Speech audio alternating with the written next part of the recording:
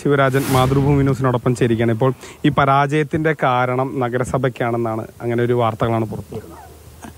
ജയിച്ചാൽ കൃഷ്ണകുമാർക്കും സുരേന്ദ്രനും തോറ്റാൽ നഗരസഭയ്ക്കും. അതാണ് ഇത് കൂട്ടുത്തരവാദിത്തമാണ്. ഇവിടെ ഒരു മാസം ഇരുന്ന് സുരേന്ദ്രജി പ്രവർത്തിച്ചതിന്റെ ഫലമായിട്ടാണ് ഈ നേട്ടവും കിട്ടിയത്. അല്ലെങ്കിൽ ഇതിനെ കൊണ്ട് പരിതാപകരമായിരുന്നു. ഇതിപ്പോ ഏത് രീതിയിലുള്ള വീഴ്ച ആർക്ക് പറ്റിയ വീഴ്ചയായിരിക്കും ഒരു കാരണം?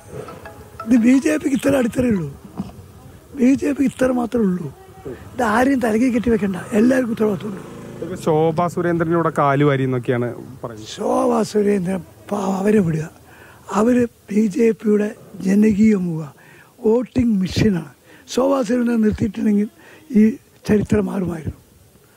കൃത്യമായിട്ട് നേതാക്കളൊക്കെ പ്രവർത്തിച്ചിരുന്നു. ഇപ്പോൾ മറ്റേ സുരേന്ദ്രനാണെങ്കിൽ അവരെ കൂടെ ഒന്ന് ക്യാമ്പ് ചെയ്ത് പ്രവർത്തിക്കുമായിരുന്നല്ലോ എന്നിട്ട് ഈ റിസൾട്ട് ഉണ്ടാക്കാൻ പറ്റില്ല അത് ഏതെങ്കിലും തരത്തിലെ സ്ഥാനാർത്ഥി നിർണയത്തിലെ പാളിച്ചാണ് അത് സുരേന്ദ്രനോട് ചോദിച്ചാൽ മതി.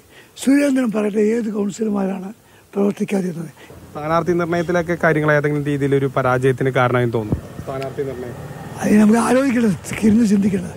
അത് നമ്മളെ എഴുത്തുകാരി പറഞ്ഞിട്ട് കേട്ടില്ല.